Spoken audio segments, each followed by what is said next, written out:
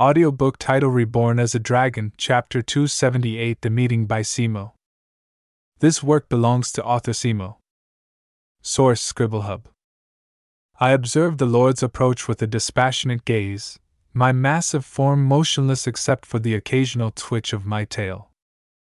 I sense the nervousness and fear emanating from the human, and a part of me feels amused to some extent. A lot of humans have always been so easy to intimidate. I noted the intricate designs and jewels on the Lord's armor, and I wondered if he was trying to impress us with his wealth and power. I wasn't impressed, of course. What use did I have for jewels or gold? My concerns lied elsewhere. As the Lord spoke, I listened with only half an ear.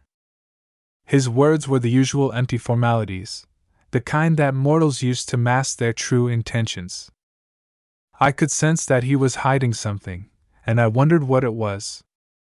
I exchanged a glance with my brother, Sidis, and he nodded imperceptibly. We were here to gather information about the Shades and their plans, and we needed to be cautious. I decide to speak, my deep voice rumbling like thunder. Greetings, Lord Arcturus, I said. We appreciate your hospitality. However, we have not come here to seek comfort or luxury. We have come to learn about the state of the world and the invasion of the Shades. We expect you to be truthful with us, for the sake of your people and ours. Lord Arcturus nodded solemnly, his expression grave. I understand your concerns, great dragon. The Shades have indeed been a dire threat to our world, and we have been doing all we can to stop their invasion. He took a deep breath, then continued. We have fortified our stronghold and trained our army, but we it has not been enough. We have been constantly losing land. The shades are too powerful, too numerous. We need allies, and we need them fast. He looked at us, his eyes filled with a mix of hope and desperation. That is why we are grateful for your presence here. We hope that you can help us, that you can bring us the aid and knowledge we need to defeat the Shades. I studied him with interest, noting the sincerity in his voice and the determination in his eyes. This Lord Arcturus was no coward, that much I could tell, despite his fear of me.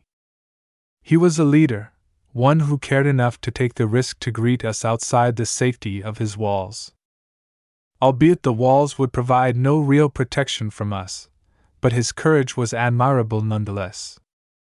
I nod my head, acknowledging his words. We will do what we can, Lord Arcturus, I say.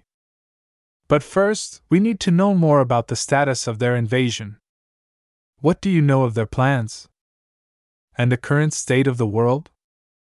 Lord Arcturus nods again, then gestures for us to follow him. Please come with me, he says. We have much to discuss. He moved to lead, however, he suddenly stopped and turned to us, a frown creasing on his forehead. I apologize, noble dragons and goddess, he said hesitantly. But I fear our stronghold may not be able to accommodate your size. The gates are not wide enough for you to enter, and our halls may not be able to bear your weight. I nodded understandingly, aware of the limitations of human structures when it came to our kind. No worries, Lord Arcturus. I say. We can hold the meeting outside the stronghold walls. The Lord nodded in agreement, visibly relieved. Yes, that would be ideal, he said. I will have my army prepare a space for you outside the walls. As Lord Arcturus and his army began making arrangements, I didn't wait for them, and instead reached out to the earth elements. I could feel the soil and rocks responding to my call, their energies vibrating in harmony with mine. With a deep breath, I focused my power, and a low hum resonated from the ground beneath me. Slowly, the earth began to shift and rise, forming a platform that expanded outward and upward. Stone pillars rose to support the structure, and intricate patterns and carvings emerged on the surface of the temple.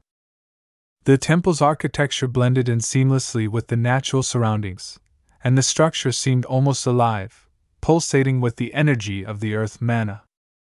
The humans in the stronghold watched in wonder as the temple took shape, their mouths agape and their eyes wide. Some of them fell to their knees in reverence. A miracle! They whispered, while others trembled in fear at the sight of such divine power. Even Lord Arcturus, who has seen many things in his life, looked on with a mixture of awe and unease. When the temple was complete, I lead Sidis and Breda to enter it, settling ourselves on the hard ground. Lord Arcturus hesitantly followed. He bowed and spoke. I am in awe at your magical powers, noble dragon. I shall bring my advisers and join you shortly, if you permit me. I waved him off, and he quickly took his leave. With him gone, I settled down. The ground beneath us was surprisingly comfortable and cool, despite its rocky texture. Sidis and Brita sat beside me, their large bodies taking up a considerable amount of space. I took a moment to admire my workmanship. The temple was vast and spacious, with towering pillars carved from the earth and adorned with intricate patterns. You sure have a thing for theatricals, Brita said calmly by my side. At times, the theatrics can be amusing. I replied to Brita with a grin as she stood by my side. It appears you too enjoy the role of a benevolent goddess. I teased her. Brita snorted and didn't respond, from answering, but although her face was as emotionless as ever, I could tell she was enjoying everything just as much as I was. I turned toward Sidis, who laid on the ground with a bored expression on his face. What about you, younger brother? He glanced at me and replied, I care little for any of this. I simply want to fight the shades. He sighed, his eyes drifting toward the outside of the temple. You'll get your chance. I smiled. Soon, Lord Arcturus and his advisers arrived before us. They respectfully bowed, and I motioned for them to approach before raising seats where for them to sit opposite us. Their faces were solemn and serious as they did. Now, Lord Arcturus, I said, my voice calm and commanding, Tell us everything you know.